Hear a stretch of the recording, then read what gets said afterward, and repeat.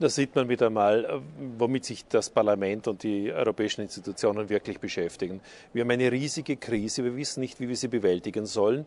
Äh, wir haben Arbeitslosenquoten, die skandalös hoch sind. In einzelnen Ländern beträgt Jugendarbeitslosigkeit über 50 Prozent. Wir haben in einzelnen Ländern eine durchschnittliche Arbeitslosigkeit von über 25 Prozent. Und dann beschäftigen sich die europäischen Institutionen mit so einem Quatsch. Das erinnert mich an dieses Dokument, das vor einigen Monaten hier im Haus beraten wurde wo man behauptet hat, dass der Klimawandel dann in den Griff zu bekommen sei, wenn in allen relevanten Klimaschutzorganisationen 40 Prozent Frauenanteil wäre.